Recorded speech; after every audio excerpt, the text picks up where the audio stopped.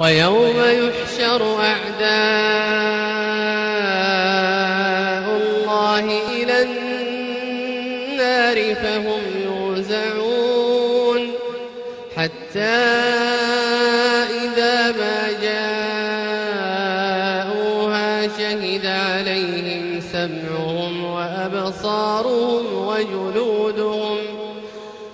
شهد عليهم سمعهم وأبصارهم وجلودهم بما كانوا يعملون وقالوا لجلودهم لم شهدتم علينا قالوا أنطقنا الله الذي أنطق كل شيء خلقكم وهو خلقكم أول مرة وإليه ترجعون وما كنتم تستترون أن يشهد عليكم سمعكم ولا أبصاركم ولا جنودكم ولكن ولكن ظننتم أن الله لا يعلم كثيرا مما تعملون وذلكم ظنكم الذي ظننتم بربكم أرداكم فأصبحتم من الخاسرين يصبروا فالنار مثوى لهم وإن يستعتبوا فما هم من المعتبين وقيضنا لهم قرناء فزينوا لهم فزينوا لهم ما بين أيديهم وما خلفهم وحق عليهم وحق عليهم القول في أمم قد خلت من قبلهم من الجن والإنس إنهم كانوا خاسرين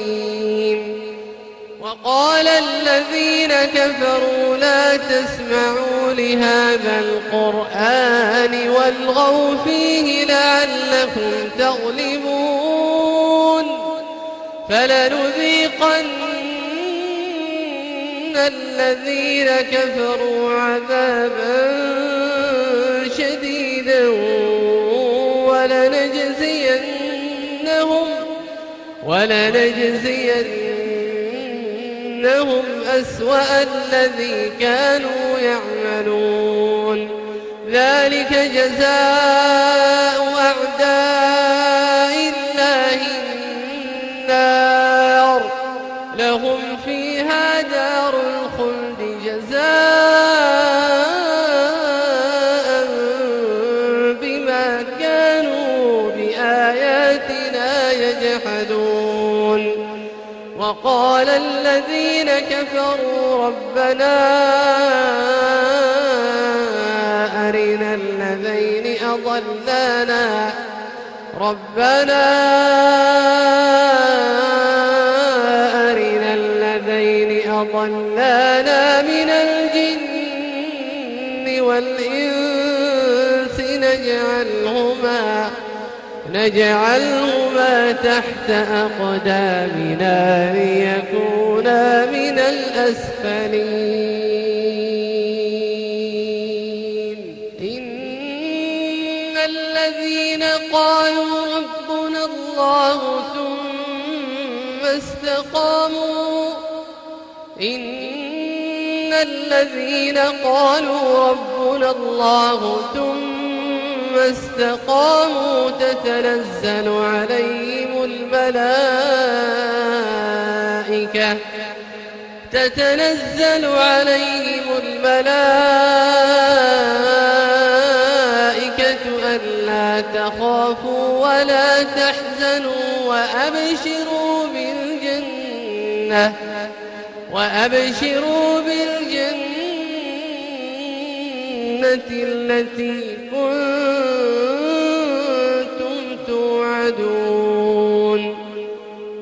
أولياؤكم في الحياة الدنيا وفي الآخرة ولكم فيها ما تشتهي أنفسكم ولكم فيها ما تدعون نزلا من غفور رحيم ومن أحسن قولا ممن دعا إلى الله وعمل صالحا وعمل صالحا وقال إنني من المسلمين ولا تستوي الحسنة ولا السيئة ادفع بالتي هي أحسن فإذا الذي بينك وبينه عداوة كأنه ولي حميم وما يلقاها